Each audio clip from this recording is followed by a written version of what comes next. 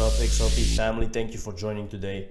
So, there's a lot of things happening. The crash, the Green Swan event coming, a lot of things happening at the same time. Now, guys, before we head into this video, I want you to know something and I will give you a major tip on how you can actually prevent yourself from selling any XRP or any cryptocurrency if you believe in it, if you invested in this cryptocurrency with with utility and with the the um, actually the idea of having some kind of utility that you believe in. So it doesn't have to be XRP, but XRP is one of the best with utility out there. So let's get this clear. If you are if you are looking at your portfolio and prices are dropping and you're looking at the price, you will feel this this emotions and you will panic. And this may lead to panic selling or you know, not believing in the crypto anymore or not believing in the utility anymore. So, a major tip that I can give you guys, don't look at your portfolio. Don't look at the amount of money that is in it. Just look at the amount of XRP you're owning or know the amount that you're owning and that's it. Don't go look in your numbers of dollars because you will be freaked out and that's exactly what they want you to do.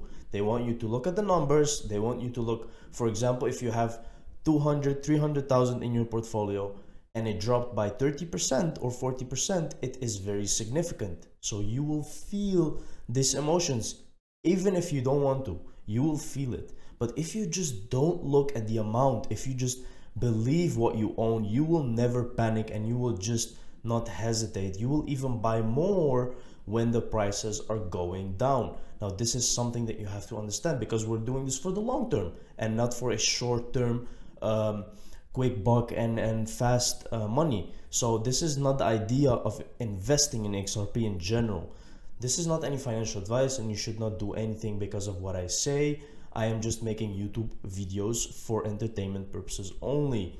Now let's take a look at what's happening in the XRP community and let's take a look at what Ripple is doing as a company.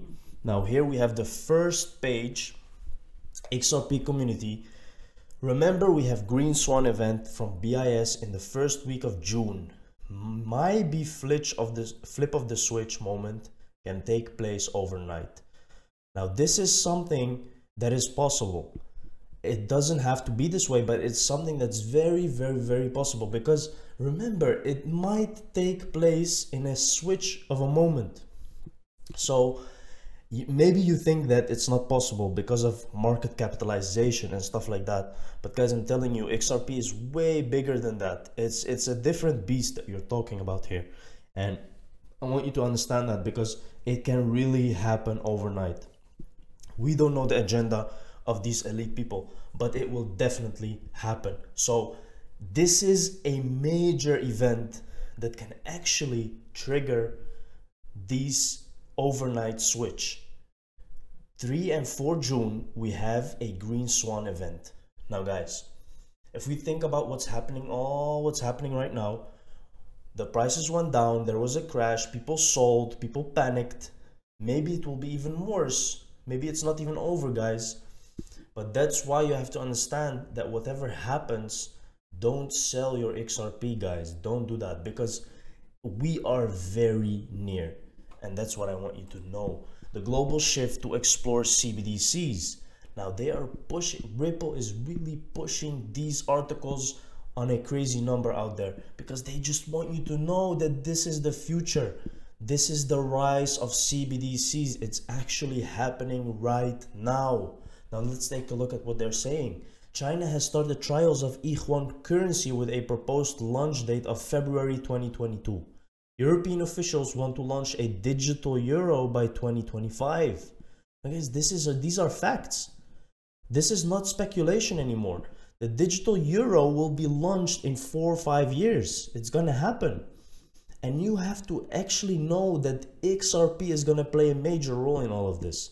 The Bahamas has put its own version, the sand dollar, into circulation. The United States announced it's, it is exploring a US digital dollar, a tokenized version of the dollar we know. This form of private uh, cryptocurrencies is playing a critical role in the new global financial infrastructure that blockchain technologies underpin. Some of the key benefits of CBDCs enhance existing payment system. Now remember, XRP will not replace these fiat currencies. This is not going to happen.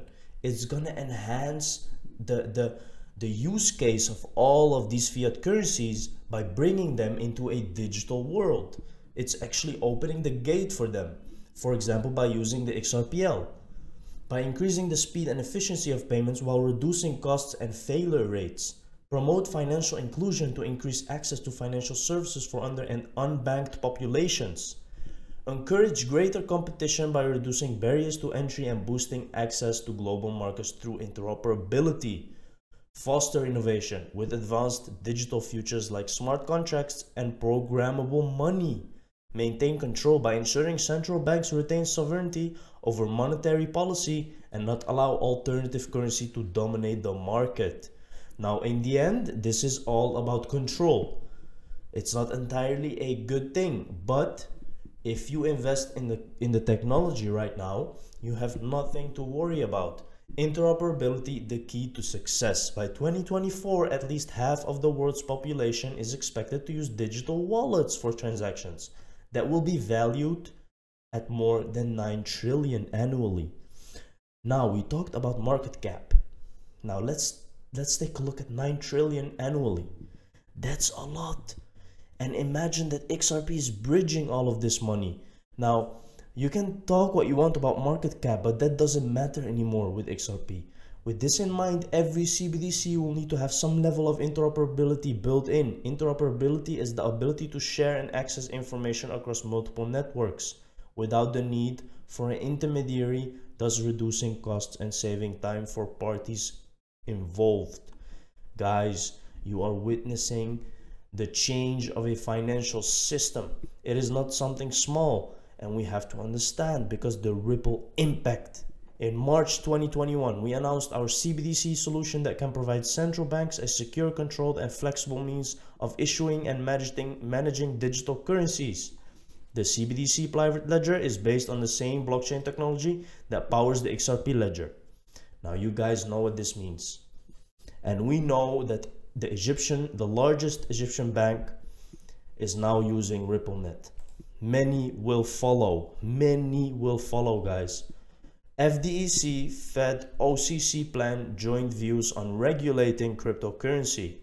Now, I think that the crash happened because of what's happening in China. They blocked all, they actually blocked all the companies from, from doing anything with cryptocurrencies.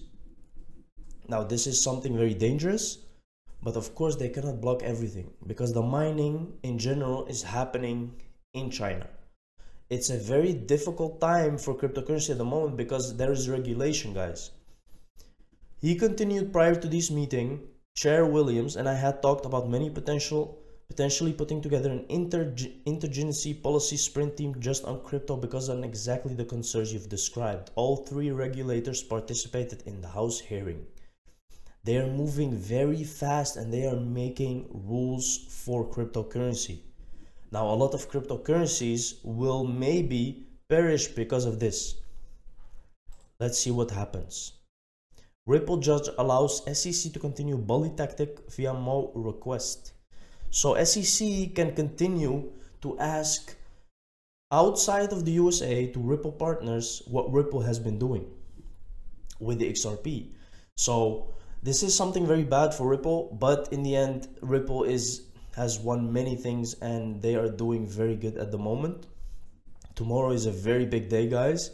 21st of May, we will know what will happen and we will maybe get something of a settlement, something more than what we have now. So be ready because things are starting to shape up. This is a tweet by Mr. Pool. This is amazing. He tweeted this and then this happened. The world's largest iceberg has calved from Antarctica over the past few days, a giant floating piece of ice close to 80 times the size of Manhattan. So, guys, we have to understand that this is all climate control stuff and they want to use green stuff. So, you know that the green swan event is bigger than it just may seem. Global cryptocurrency Google searches reach a new all time high. That means that people are really starting to get into cryptocurrency Now it is still not a lot. There's still not a lot of people know about cryptocurrencies. It's still the beginning. But you can see that the Google searches are through the roof. You can see that. That means that this space is really gonna blow up guys. And this is just the beginning. This market crash is nothing. It's just a small correction actually if you look at the bigger picture of what cryptocurrency can do. Where is this demand coming from? As the first graph demonstrates, the previous massive surge of Google searches came in 2017-18. As such, it would be safe to assume what's primary driving force behind the growing interest and somewhat unsurprisingly, it has a lot to do with prices. Back in late 2017 and early 2018, Bitcoin and the rest of the market were going through an impressive bull run the primary cryptocurrency charted an all-time high of 20,000. 20, ETH was over $1,400 and so on.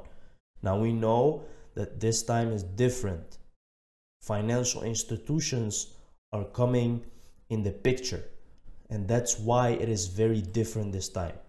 That doesn't mean that, that there is not a crash gonna come or any correction or whatsoever.